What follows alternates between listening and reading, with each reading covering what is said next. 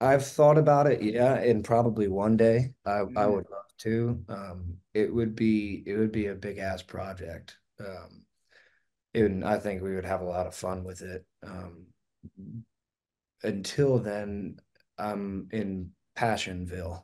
Um, but yeah, dude, I would absolutely love to. Like, some of them come out of left field and just be like, just be like, yeah, He's doing what? he's doing what?